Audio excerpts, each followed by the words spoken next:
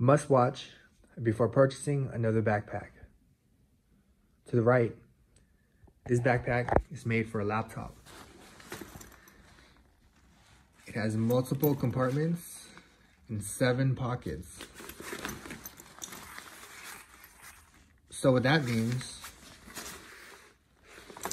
is you would have went through seven pockets to find a single bottle of water. That is not practical.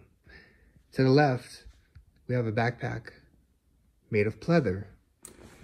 It's only been used approximately seven times over the course of three years, approximately. And it's already falling apart. So, don't buy a backpack with too many pockets. And don't buy a pleather backpack.